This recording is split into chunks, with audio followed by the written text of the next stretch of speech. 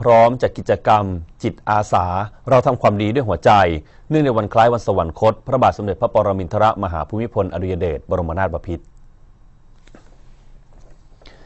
นายวิพัฒน์เอกพาพันธ์ผู้ว่าราชการจังหวัดพิษณุโลก เป็นประธานในการประชุมเตรียมความพร้อม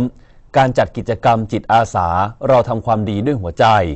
เนื่องในวันคล้ายวันสวรรคต พระบาทสมเด็จพระปรมินทรมหาภูมิพลอดุยเดชบรมนาถบพิตร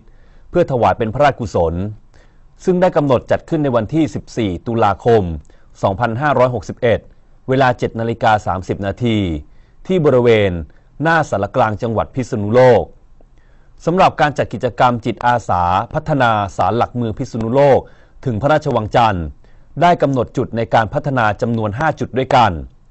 จุดที่ 1 บริเวณที่ว่าการอำเภอเมือง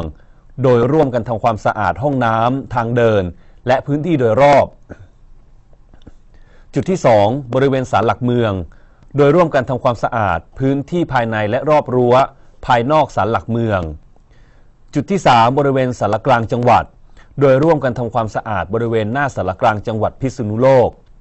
จุดที่ 4 บริเวณสารกลางจังหวัด โดยร่วมกันทำความสะอาด พื้นผิวถนนและฟุตบาท รวมถึงการทาสีสัญญาณจราจรต่างๆ จุดที่ 5 บริเวณศาลสมเด็จพระนเรศวรมหาราช และพิพิธภัณฑ์วังจันทร์โดยร่วมกันทำความสะอาดโดยรอบ เช่นการตัดหญ้ากำจัดวัชพืช การแต่งกายด้วยชุดเครื่องแต่งกายจิตอาสาพระราชทาน เราทำความดีด้วยหัวใจ เสื้อสุภาพสีเหลือง ผ้าพันคอจิตอาสาพระราชทาน หมวกจิตอาสาพระราชทาน ป้ายชื่อจิตอาสาพระราชทาน